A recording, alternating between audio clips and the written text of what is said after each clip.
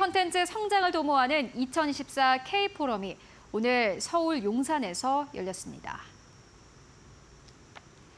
일간 스포츠와 이코노미스트가 주최한 이번 행사는 K-컨텐츠 성과 극대화를 목표로 마련됐습니다.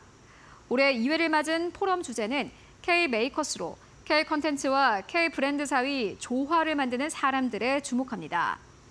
포럼에는 곽혜은 이데일리M 대표, 용호성 문화체육관광부 제1차관, 가수 이홍기 등이 참석했습니다.